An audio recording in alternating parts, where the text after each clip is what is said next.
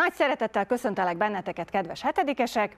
Besnyi Izabella vagyok, a Szabadkai Iván Gorán Kovácsics általános iskola biológia tanára.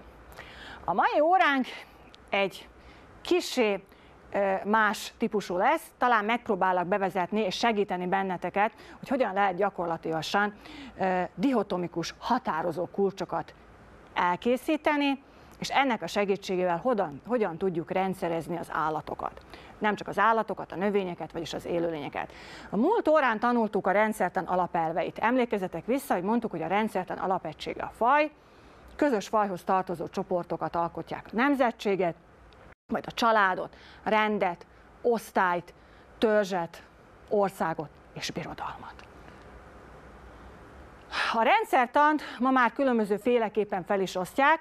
Talán ez a legelfogadottabb felosztás. Todd Stussy, talán így ejtik helyesen, ő egy még élő tudós amerikai Ohio államból, Valójában a rendszertant felosztotta taxonómiára, amely a besorolást jelezi, és a taxonómián belül megkülönböztetünk klasszifikációt, ami osztályozza az élőlényeket, a nevezéktant vagy nomenklatúrát, ami a neveket adja az élőlényeknek, az identifikációt, vagyis azonosítástant, és most már egyre inkább belekerül a filogenetika, vagyis valójában a genetika, amelynek segítségével egyre újabb és újabb különbséget fedeznek észre már létező fajok között, és új fajokra bontják őket, és nagyon ismert tudományág a populáció és az evolúció biológia.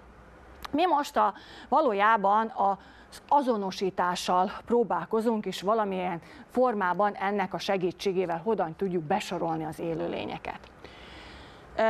Mondtuk, hogy az élőlényeknek az azonosítására, meghatározására egy ilyen határozó kulcsokat szoktak a, kialakítani, mi is megpróbálkozunk vele. Ezeket a határozó kulcsokat dihotomikus határozó kulcsoknak nevezzük. Mit jelent az, hogy dihotomikus? Az azt jelenti, hogy kettős, tagolható változás, tehát valójában keresünk olyan tulajdonságokat, amelyek egyes vonatkozik valamelyik élőlényre, a másik viszont nem vonatkozik. Ez alapján csoportosították az élőlényeket három birodalomra, ezt már többszörösen megtanultuk, és viszont az ismétlés a tudás anyja, tehát baktériumokra, archeákra és eukariótákra. Ha ezt mi megpróbáljuk dihotomikus kulcs segítségével felírni, akkor megtörténhet így is. Az első, tehát van két meghatározásunk, két ellentétes meghatározás, az egyik azt jelenti, hogy sejtmag nélküli szervezetek, a másik azt jelenti, hogy sejtmaggal rendelkező szervezetek.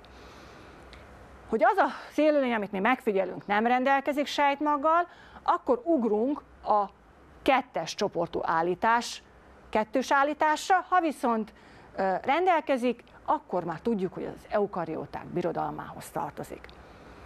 Hogyan tudjuk ellentétesen két állítást hozni a, a kettes ö, csoportunknál, tehát egysejtűek, amelyek spóra képző prokarióták, vagy egysejtűek, amelyek spórákat nem képző prokarióták, tehát ellentétes állítás. Az egyikről tudjuk, hogy a baktériumok birodalma, másikról tudjuk, hogy az archeák birodalma. Tehát ez már egy kezdetleges dihotomikus kulcs. Hát, hogy egy kicsit kedvet találjunk ennek a dihotomikus kursnak a megfigyeléséhez, nézzük csak, hogy milyen kettős állításokkal tudjuk mi felismerni a mi szörnyecskéinket. Hát, ha a szörnyecskének van kettő vagy kevesebb szeme, akkor ebbe a csoportba tartozik. Ha három szeme vagy ettől több van, akkor az ebben a csoportban mi most csak egyetlen egy szörnyecskét tudunk, amelynek több szeme van, ő a négy szemű meggi. Hogyan tudjuk csoportosítani a kettő vagy kevesebb szemmel rendelkezők? Hát van olyan szörnyecskénk, aki visel cipőt, és van olyan, aki nem visel cipőt. Aki visel cipőt, ő az egyszemű Billy. Hát akik nem viselnek, abból több van. Hogyan tudjuk őket szétválogatni? Hát egyesek nem zöldek, tehát más színűek, mások pedig a zöld vagy ennek az árnyalataival rendelkeznek. Hát aki nem zöld, ők a kék bonnet. A zöldeket viszont még fel kellene osztanunk, tehát van, akinek van szempillája, ő Lucinda, és vannak, akiknek nincsen szempillájuk, viszont az egyiknek van szarva, a másiknak nincs szarva. Tehát két különböző állítások segítségével mi szét tudtuk válogatni a mi szörnyecskéinket. Na nézzünk még egy hasonló gyakorlatot. Ezt majd otthon ti gyakorolgassátok, nem fogjuk az összeset megcsinálni, én kettőt fogok csak kiválasztani. Tehát ez egy dihotomikus határozó kulcs változata, amelyen azt próbáljuk kideríteni, hogy a képen szereplő embereket hogy hívják. Hát én most kiválasztom először ezt a mi szőke cofos hölgyünket. Az első kérdésünk, hogy nő vagy férfi, hát nő, tehát ide jövünk rá. Van-e kalapja, nincs kalapja? Hát, nincs kalapja. Megyünk tovább. Van-e fülbevalója, vagy nincs fülbevalója? Hát én nem látok rajta fülbevalót, úgyhogy ide jutunk, hogy nincs fülbevalója. Van cofja, vagy nincs cofja? Hát jól látható a két cof, tehát tudjuk, hogy ezt a szőke cofos lányt Annának hívják. És ide-oda tudjuk írni, hogy Anna. A fiúknál mondjuk kiválasztom ezt a kalapos, szimpatikus, mosolygós fiatalembert, tehát megint elkülönítjük nő, férfi, tehát ő férfi, hát kopasz vagy van haja, hát azért látjuk, hogy a kalap alatt is, hogy van haja, tehát megyünk tovább, bajszos vagy nincs bajsza, hm, nincs bajsza, megyünk tovább, kalapos vagy nincs kalapja. Hát ő neki van kalapja, úgyhogy beazonosítottuk, hogy őt úgy hívják, hogy tas. Ha van kedvetek, otthon szórakozzatok, és próbáljátok beazonosítani az összes többi képen szereplő szemét neveik alapján.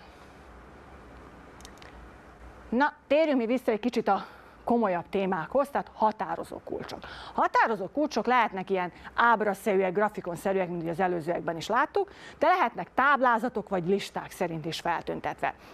Ami fontos, és már megfigyeltük az előző diákon, hogy két ellentétes, különböző lehetőséget adnak meg ezek a határozó kulcsok.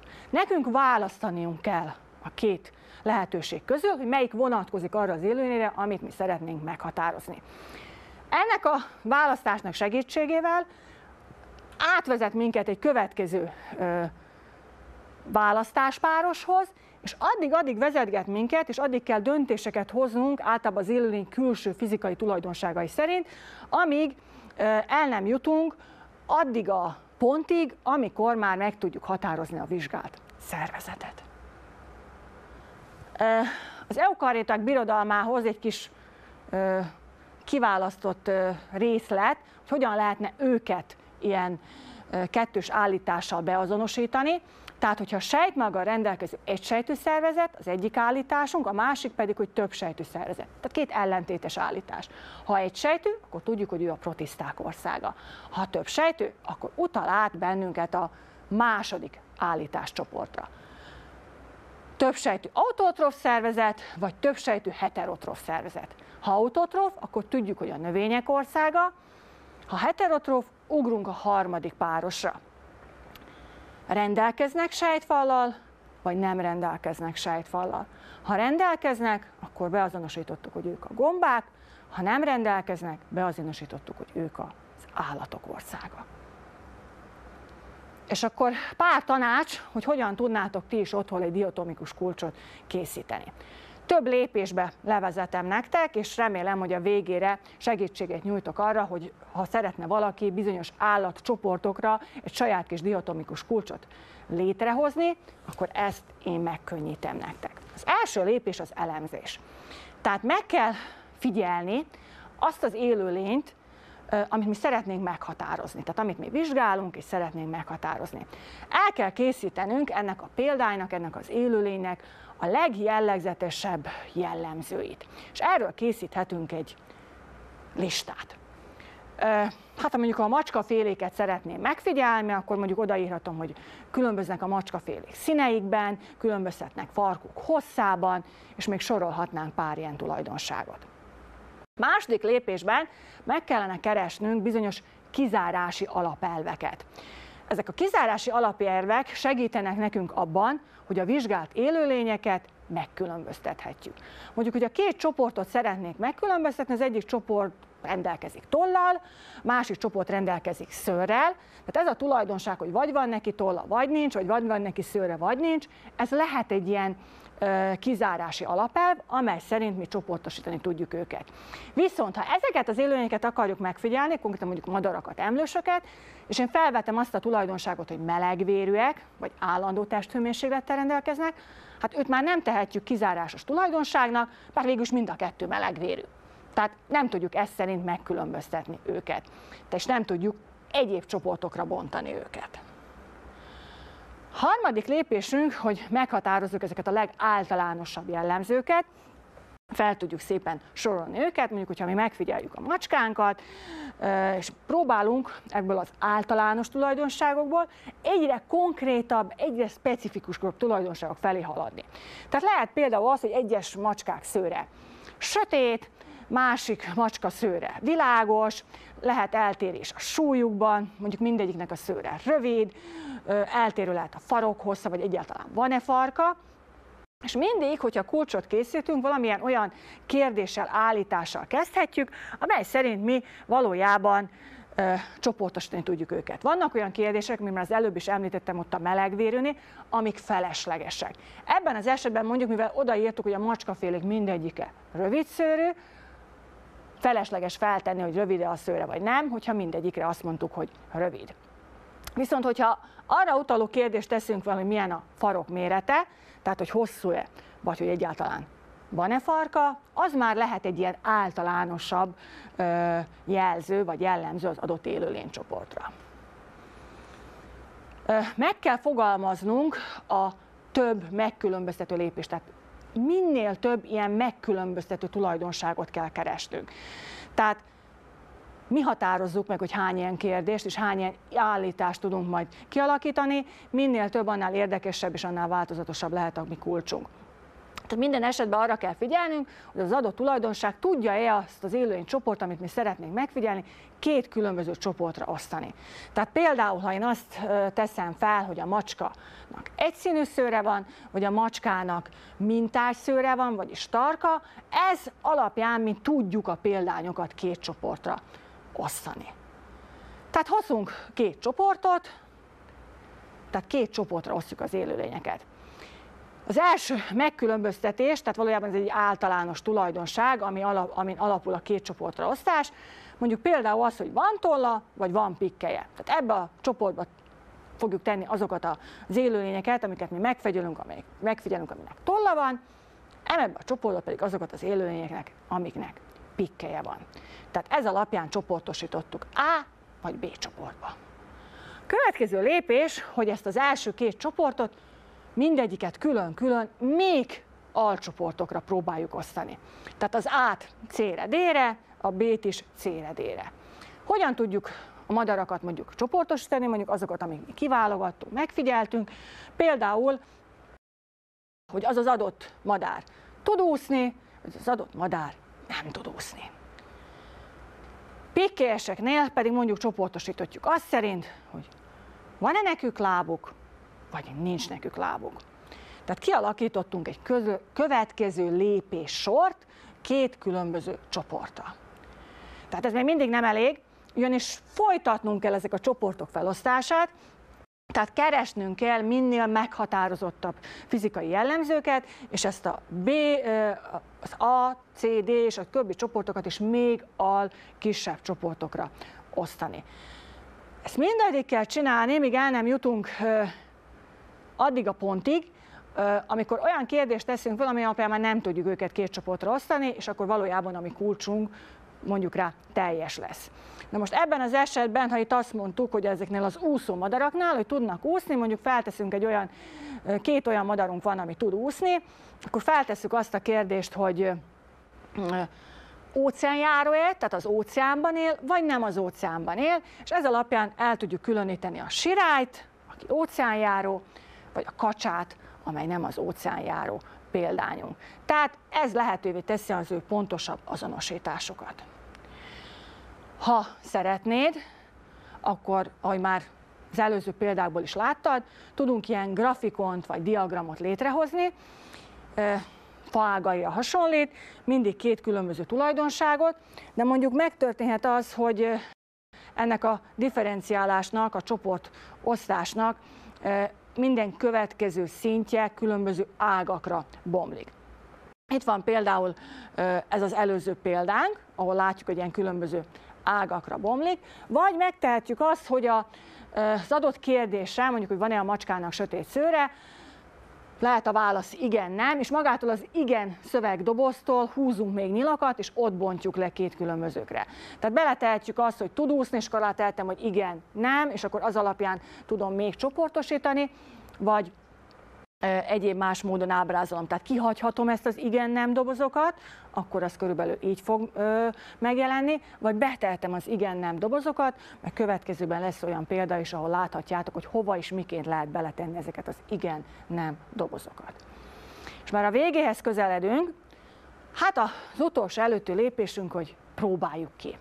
Hogy azokat az élőlényeket, amik mi szeretnénk beazonosítani, a mi elkészített kulcsok alapján sikerül-e menjünk végig lépésről lépésre ezen a kulcson.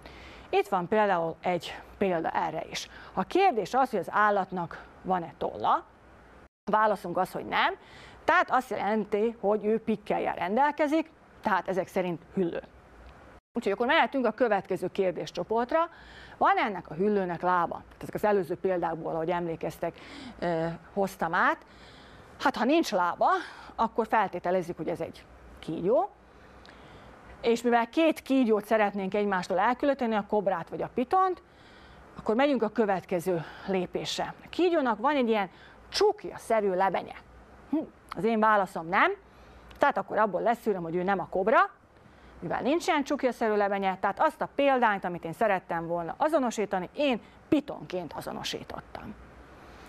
És van egy utolsó lépés, amit hogyha jól dolgoztunk, nincs rá szükség, ha viszont szükséges, akkor így elneveztük, hogy hiba elhárítás. Tehát, hogyha amikor kipróbáltam, észrevettem, hogy hmm, valami nem éppen a legjobb, akkor tudok rajta korrigálni. Általában mibe szokott fellépni a hiba? Vagy abban lép fel a hiba, hogy nem jól fogalmaztam meg a kérdéseket, tehát a kérdés megfogalmazásában van gond, és ezt át kell fogalmaznom, vagy pedig a sorrendet az állításoknál nem helyes sorrendet állítottam fel, tehát át kell szervezni ezeket a kérdéseket, különböző sorrendet kell felállítanom.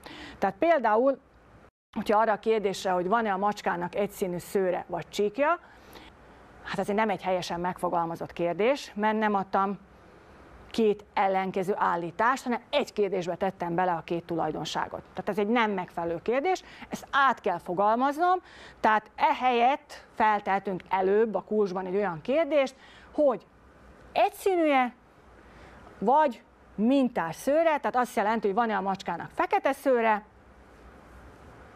a másik kérdésünk a kurzsba pedig, hogy van-e a macskának csíkja.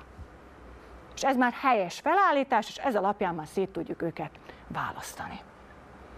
És mondtam, hogy mutatok olyan példát is, ahol ez az igen-nem szövegdoboz is megjelenik, tehát ha a gerinceseket szeretném szétválogatni, az első ilyen kérdés, mondjuk, van-e neki szőre? És beteszem ezt a szövegdobozt, hogy igen, nem, ha igen, akkor tudom, hogy ő az emlősök csoport, tehát az emlősöknek az osztálya. Ha nem, akkor felteszek alá egy következő kérdés, már az előbb ismert kérdésünk, van-e neki tolla? Megint megjelenik az igen, nem szövegdobozunk, ha van neki tolla, akkor ő a madarak osztályához tartozik, ha nincs, akkor még tovább felteltek kérdéseket, például felteszem azt, hogy száraz a bőre, de már kihagytam azt, hogy igen, ha igen, akkor ő hüllő, ha nem száraz, hanem nedves a bőre, akkor mindig van két csoportunk, amit szét kell szednünk valamilyen kérdéssel, tehát hogy van pikkeje, vagy nincs pikkeje.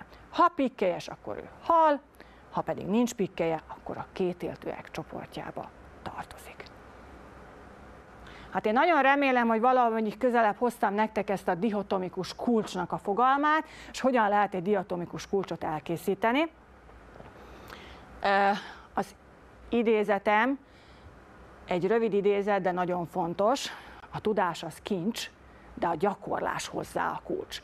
Úgyhogy bízom benne, hogy ahhoz, hogy jó dihotomikus kulcsokat készítsetek, gyakorolni fogtok, és minden egyes következő dihotomikus kulcsotok már sokkal jobban fog sikerülni, mint az előző. Sok sikert kívánok ehhez a próbálkozáshoz, és legyen ma is szép napotok!